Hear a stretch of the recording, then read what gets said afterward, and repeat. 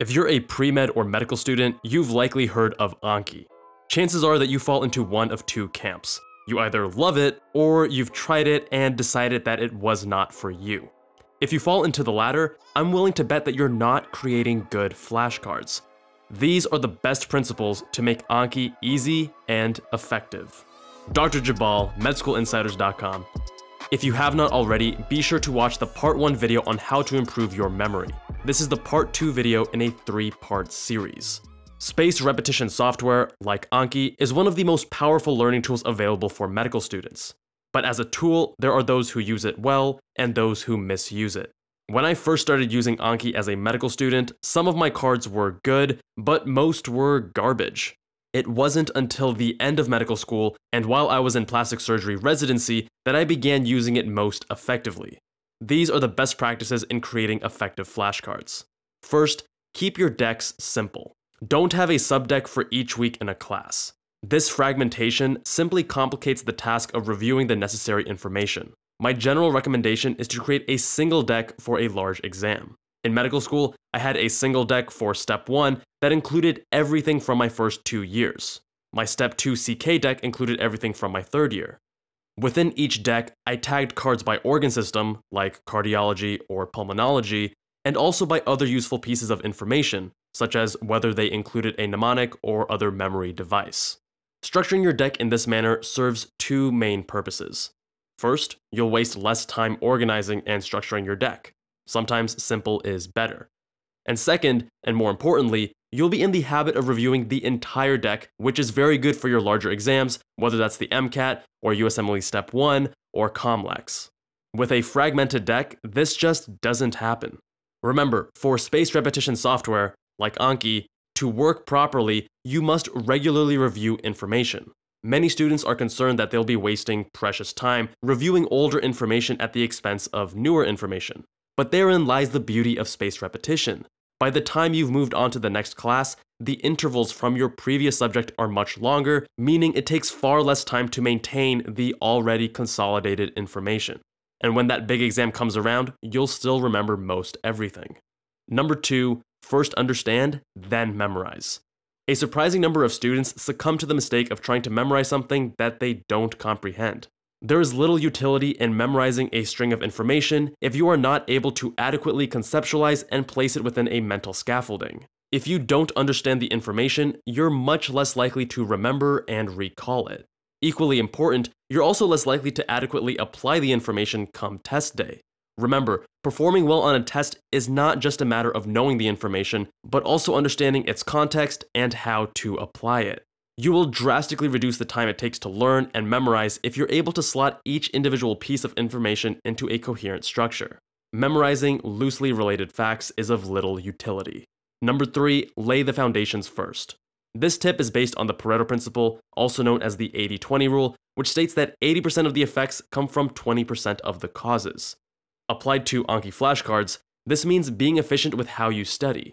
Focus on the highest yield information such that on test day, you've optimized your chances of scoring well. Oftentimes, students get caught up in these smaller details which are low yield. Remember that a mental scaffolding and foundation of basics is essential. Simple models, after all, are easier to comprehend and quickly review. From there, you can fill in the details as you progress. Number 4. Follow the minimum information principle.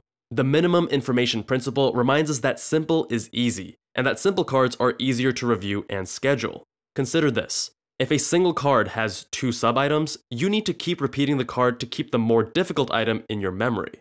However, if you split this single card into two separate cards, each can be repeated at their own pace, ultimately saving you time in the long term. This is arguably the biggest offense of most students when they first begin using Anki. Most students make very complex cards that could be broken down into a dozen or more sub-items. I was guilty of doing this for much of medical school. Some may argue that since the number of cards increases, it's ultimately less beneficial. But you must keep in mind that the total number of repetitions will actually decrease over time. By sticking with a complex card with multiple sub-items, you're actually more likely to 1. Forget the more difficult sub-item repeatedly, Number two, repeat the card in excessively short intervals. Or number three, remember only a part of the complex card. Number five, cloze deletions are your best friend. I used Anki for several months before learning about cloze deletions. And once I did, they quickly became my favorite type of card. Cloze deletions are essentially fill in the blank questions. You can make the blank as short or as long as you want. I go over the shortcuts, formatting, and details on how to use cloze deletions in a previous video. If you're finding it difficult to stick with the minimum information principle, then cloze deletions are a great tool to break your bad habits. They're also incredibly efficient to create as you can copy text from your PowerPoint or from your notes and create cloze deletion cards in just seconds. Number 6. Use images, photos, and figures. Your memory is much more efficient at retaining visual than textual information. It makes sense. We've evolved over millions of years and have only had written language for a small percentage of our existence. Images are particularly beneficial for certain subjects, like anatomy or chemistry. That being said, I'd argue that even for more text-based subjects, images are still warranted. When creating your Anki cards, try to find an image for most of your cards. And it doesn't always have to be exactly related to your card either. If the topic of the card makes you think of something unrelated, find an image of it. While this may take upfront time and investment, over the long term, it greatly reduces your learning time.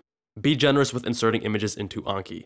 Go on Google Images, search for something relevant, and quickly copy and paste it or screenshot it into Anki. Knowing your shortcuts are going to save you a lot of time here.